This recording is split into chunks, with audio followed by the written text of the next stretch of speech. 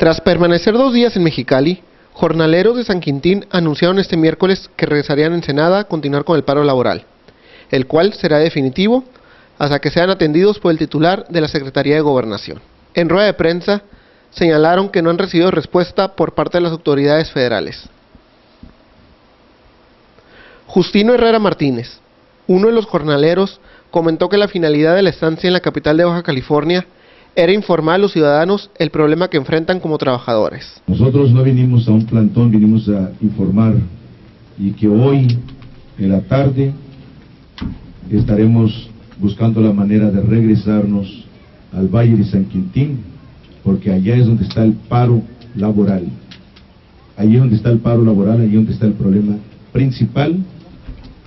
Y esta caravana que salió a informar regresa al Valle de San Quintín el día de hoy. Por eso estábamos agradeciendo y seguiremos agradeciendo a nuestros hermanos que nos han brindado la mano y por eso decíamos, pueblo con pueblo, nos hemos sabido responder, aunque los gobiernos que tenemos han querido oprimir al pueblo que responde hombro con hombro. A su vez, Fermín Salazar Santiago indicó que no habrá marcha atrás en el plantón hasta ser escuchados. Necesitamos que ellos estén para poder llevar a cabo este trabajo y encontrar la mejor respuesta a favor de los trabajadores agrícolas de San Quintín, el aumento salarial. Agregó que ningún trabajador proveniente de San Quintín haya aceptado el 15% de aumento salarial.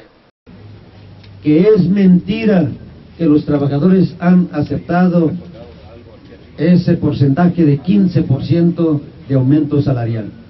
Y la prueba está en que el día de hoy seguimos permaneciendo más de 500 trabajadores agrícolas acá en el Valle de Mexicali, en la capital del estado. Asimismo, los voceros desmintieron que su lucha social tenga alguna bandera partidaria.